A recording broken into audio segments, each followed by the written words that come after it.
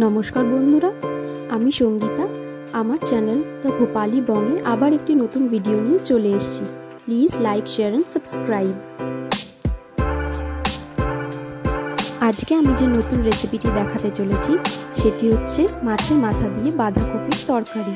এটি খুব সাধারণ একটি রান্না, যেটি বাঙালির ঘরে মাঝে মাঝে হয়ে থাকে। তো চলুন শুরু করা যাক।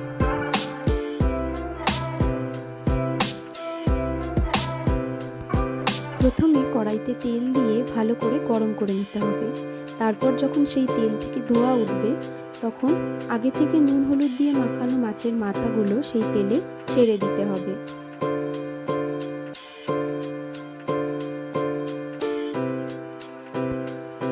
এক থেকে দেড় মিনিট ঢাকা দিয়ে রেখে তারপরে ঢাকা তুলে মাছগুলো উল্টে দিতে হবে।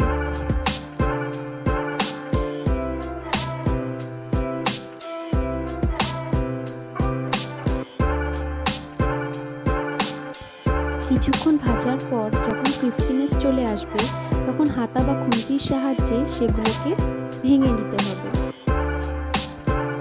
ভাজা হয়ে গেলে তেল থেকে ভাজা মুড়োগুলো উঠিয়ে রেখে দিতে হবে। এবার ওই তেলেই তেজপাতা গোটা জিরে ফোড়ন দিয়ে দিতে হবে। আগে থেকেই আমি কিছুটা বাঁধাকপি গরম জলে সেদ্ধ করে জল ঝরিয়ে রেখে দিয়েছিলাম। এবার সেগুলো তেলে অ্যাড করতে হবে। তেলে বাঁধাকপিগুলো ছেড়ে ভালো করে নাড়িয়ে নিতে হবে। এখানে আগে আলু অ্যাড করতে হতো, কিন্তু আমি আলু ইউজ করিনি আজকে। আপনারা যদি চান, তাহলে আগে আলুটা ভেজে তুলে নিতে হবে। তারপরে বাঁধাকপি অ্যাড করতে হবে।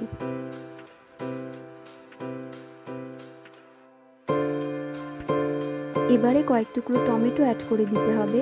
আপনারা চাইলে টমেটো আগে ভেজে রাখতে পারেন, কিন্তু আমি এখানে একসাথেই দিয়েছি, তার কারণ টমেটো রান্না হতে হতেই সেদ্ধ হয়ে যায়।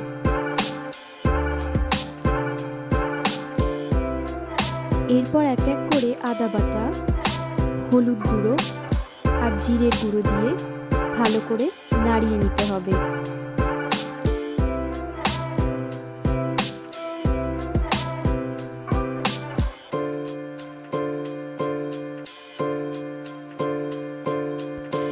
কিছুক্ষণ নাড়িয়ে নেওয়ার পর ঢাকা দিয়ে কিছুক্ষণ স্ট্যান্ডিং টাইম দিতে হবে। এর মাঝে কয়েকবার ঢাকা উঠিয়ে চেক করে নেবেন যাতে বাঁধাকপি পুড়ে না যায়। ভালো করে নাড়িয়ে চাড়িয়ে নেবেন যাতে বাঁধাকপি আপনি যে মিশ খেয়ে যায়। এরপর ভেজে রাখা মাছের মাথাগুলো দিয়ে ভালো করে নেড়ে চেড়ে আবার কিছুক্ষণ স্ট্যান্ডিং টাইম দিতে হবে।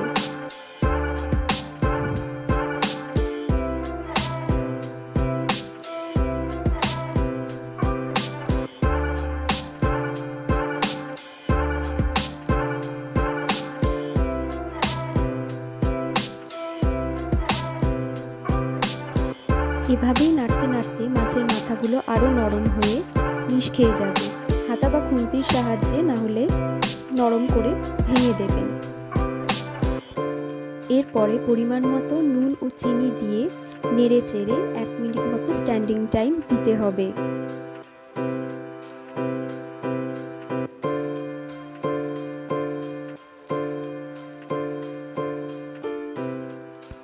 ব্যাস তৈরি হয়ে গেল মাছের মাথা দিয়ে সুস্বাদু বাঁধাকপির তরকারি।